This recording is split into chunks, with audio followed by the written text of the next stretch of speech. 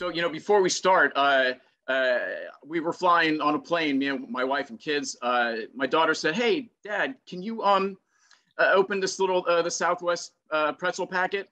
I did, and I um, I chipped my tooth right there. So Huh? I don't always look like Jim Carrey from Dumb and Dumber. So I just wanted to Oh, put that not at there. all. Think of it more look, looking like uh, Sam Shepard. There, there you go. Yeah, You can you can always turn that in the right much direction. much better reference. Yeah. Um, pretzel. Oh, you mean you're ripping the package? Gosh, didn't they always tell you? Hey, that might be the first time I've actually heard that something bad happened, but that's why that's why they've been telling us that our whole life. That's Yeah, That's, uh, that's, And my, my wife uh, gleefully told me the same thing. Yeah. See, I had to I had to lean in on that. Yeah. No. Good to meet you, Lance. Didn't notice the tooth. Right. right. Um, you, you know, I love these CIA like secret agent stories like this and uh, and, and Hanna. Um, uh, and for Harris, your your character here, I mean, there seems to be a lot going on with him. You know, uh, like the backstory and things like that before we get to actually see him in the film. Yeah, well, the one of the cool things about this movie is it jumps around a little bit in in uh, in its time frames, um, all within recent history. But you go um, from somewhere in the D.C. metropolitan area to a black site in Kosovo and everywhere in between, um, and uh, it keeps you guessing. When I come into a role like this, believe me, this is a script I have to read a couple times so that I track not really the writer's intended uh, uh, through line for your character, but the real one. In other words, they mix up the character, they mix up the time. There's a couple of twists and a reveal or two. Um, so it, that's what makes it fun to watch. But uh, it's a puzzler for sure. And um, Harris is r- really s- squarely right in the middle of that. Right, right, totally. Now, do you um, do you create uh, like your own backstory uh, for a guy like this? Well, some of it plays. Um, some of it plays in in the story, so you'll learn it a little bit later. Right, yeah. his older associations, uh, you definitely have a feel that uh, Harris works well and for a long time with the, his sidekick and partner that Jason Isaacs plays. Um, and so, does that even garner some sympathy that these guys get along pretty well while they're, you know, violently interrogating a, a prisoner? I don't know, but the movie definitely plays on um, not knowing, not not knowing who the bad guy is. And in this case, these bad guys have been bad guys for so long that they're good at it. So they may not even know um, that they're treading into moral uh, moral boundaries. I like you said, there are like a couple twists, really cool twists, I might add, um, that I didn't even see coming. Uh, is that one of the reasons you kind of wanted to to do this, take this on?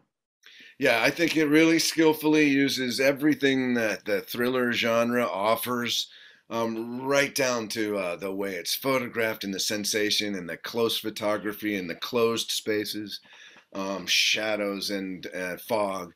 And um, and i again, in reading it, I just knew that it had uh, it, it had all those great qualities of films like this in spades. Um, I think by the time I was reading it, they, I knew that they had Mel Gibson in. Jason came in right after that. But one of the great storylines in the movie is carried by the three other lead actors, which are Katie Cassidy, Adan Canto, and Rhys Coiro. Um, they're they're that small unit crew that is um, is brought together for the first time in the first time frame of this movie. Uh, when you do have like twists like this, do you try and find little I don't know what to call it, like Easter eggs or something to put into your performance? So like when somebody goes back to rewatch it, we're like, oh, I should have caught that.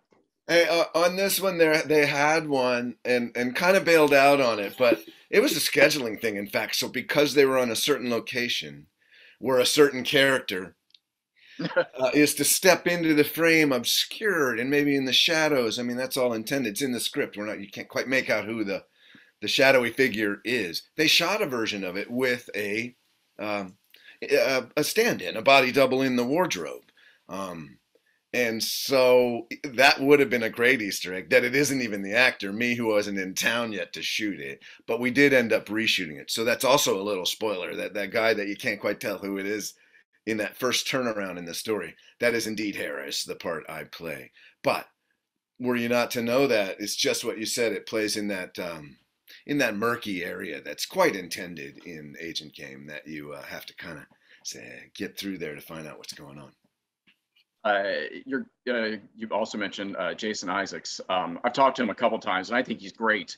Uh, uh, watching you two, like you're back and forth together, man, it, it, kind of like made the film for me. Yeah. Oh, hey, thank you. We, we had a great time. It happened instantly. I think he's just an old hand too, and knows that uh, you can spot another one. So we just kind of lasered in on how to play that sort of uh, that friction of doing something that you know is not right but doing it with somebody you trust and that you've relied on. So um, that as much as they're friendly and have kind of a verbal shorthand that i really have to attribute as much to the script as to us um, but that camaraderie uh, seemed to come naturally to us and that puts a little more bend on those scenes because it makes them seem like likable guys because they kind of get you know they're chums so it throws you off of really what they're doing which mm-hmm. is to you know manipulate one of their pr- prisoners in order to uh, you know further the cause of the government which turns out to be you know at the cost of uh, human life. So um, yeah they feel that they're doing the right thing. It's a really uh, that's some of the the thriller's friction that you feel how did you guys work? Did you like rehearse at all or anything? Because I mean, you guys were just so like on top of each other, dialogue wise. Uh, like incredible. Like a lot of that too. I'll I'll, uh, I'll uh, credit the editor and Grant S. Johnson, the director, really had that energy bringing it into the room that we're shooting in this really cool location. But I have to credit Jason for some of that because um, I mean, or us together, we had just such incredible energy, um, joking around in between and heightening our humor and our you know or uh, I, I, don't know. I think he really brought that overlapping, which and, that that gave a familiarity, but also added to the urgency. And so I, I just thought he, he, had a great energy and tapped into that, and th- that helps really um, uh, propel those scenes in a um, in a suspenseful way. Yeah. How do you like to work? Do you like to rehearse at all, or do you just want to like let's let's go and see what happens? Well, I don't, I don't know. It's always different, and so it'll be. I can't really get set on uh, liking one way of doing it.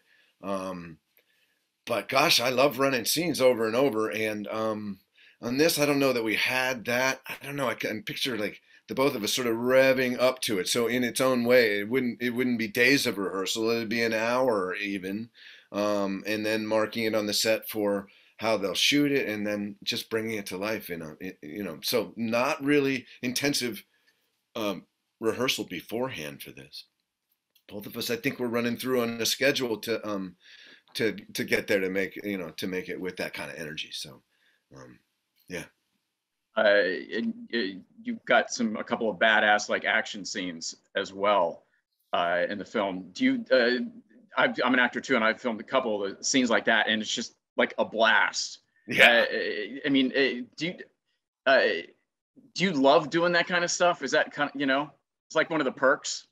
Some of this is so well conceived and shot and edited that there's bits of it that when you watch it are a little bit off camera. You know what I mean? So I'm like, ah, not that we, you know, was always intended where like the killing takes place over there. Not again that I won't always want to like depict violence, but these scenes were really highly choreographed. You know, of course, one of the big set pieces is a shootout in a warehouse, so that becomes so clamorous and so um, claustrophobic, and right around the next corner kind of suspense um, that they they really that they really nailed.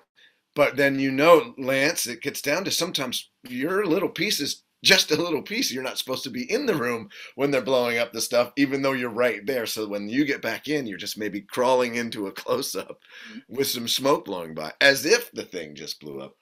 Um, but that's what's kind of ingenious about these movies and about Agent Game that they get. Sometimes it doesn't feel like it's going to be that full of action because it's just bits and pieces, but they've already figured out how they're going to cut it. And so that's all they want to get, or that, you know, and the stunts naturally are broken down into its bits. So uh, such a fascinating process, and I worked with a great, uh, especially great stunt crew on this. I feel like you've been uh, looking at your sort of projects that you've done the past couple years. Man, you've been busy. Yeah, well, that's the way I love it, and I've had the opportunity, so no reason not to. I think, well, very much so in the past, in a different type of industry, in a different pursuit, different age. For me, um, I, I, I just, uh, I just love where it's at right now, and um, get to do uh, what I love doing, and in a way that I'd always hoped to set out to do, which is as um, just a wide and wild variety of different parts. So to come visit in the action thriller suspense uh, genre, uh, even recently, I think you mentioned Hanna, um, has been a thrill because up until now I haven't um, haven't done too much of that. So I get to sort of check another box, um, and um, it's just a thrill. So I can't I can't help myself. Um, was that a conscious so, effort to so kind of go that way? So many incredible opportunities, as if as if it's me. These are other people giving, you know, writing parts and you know, uh, and bestowing me with, uh, you know, with uh, with with these different roles and stuff. So that's where it comes from. You know, um, go go on, man. Sorry. Uh, no, was that like a conscious effort to to kind of go uh, to to move your career kind of in that direction as well, to like do things you haven't done before? Yeah, well, I think it goes along with um, that. That's not a very original idea. I've just been um, very blessed to be able to do it, and a lot of times um, as a lifeline to just keep acting. So if I wasn't striking it as the romantic lead all of a sudden, which happened many times, um, I, would have to go take something else, and, you know. And so it it caused itself, uh, but it, it was always one of my notions to you know to be a man of a thousand faces. I mean I had to drag this one around. Um, didn't get to put on a whole lot of fake noses or prosthetic uh, stuff. Uh, so, um, but uh, thrilled and blessed, you know, to have uh, so many um, varied opportunities. Yeah, incredible. Uh, I've just got a couple more questions to ask you, like acting questions. What was the very first SAG job that you got? Oh, wow. The first SAG job I got was a lead in a TV movie. It was called Sin of Innocence. The story leading up to that is incredible. The people that reached out saw young talent uh, um, and, and, stuck their neck out uh, for my. Uh, on my behalf. Renee Valente was the producer of that. She pushed a quarter across the table when I auditioned and said, I'm going to bet you a quarter that you're going to be a star. And Arthur Allen Seidelman, who's nearing 90 now, I've been in touch with recently directed that was with Bill Bixby, Dee Wallace, uh, who were huge stars at the time and are huge stars in my heart. Um, and Megan Follows played the young lead, and I was a teenage uh, movie of the week. Uh, started a, as a lead in, in a in a TV a TV movie. That's when awesome. millions of people watched those in that single night they put them on. So it was a super high uh, high level in um, and I've had lots and lots of dips uh, since then, um, but so many pinnacle moments I, almost can't count them. And, and um, incredible. Thanks for asking that, though. To remember those those times, great people. Yeah, um, absolutely. How, how did they find you? Well, I was a student at Northwestern, and a Los Angeles agent went on a talent scout, which is a lost art.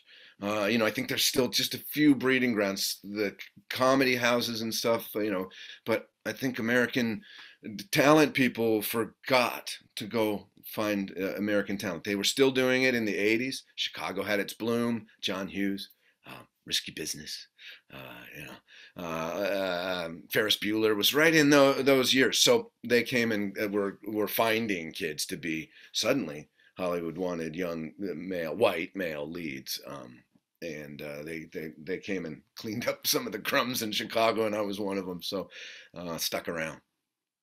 Uh, and then my last question that I just love to ask: What's been your worst audition ever? Oh, I still have bad auditions. Um, hmm. My worst one ever.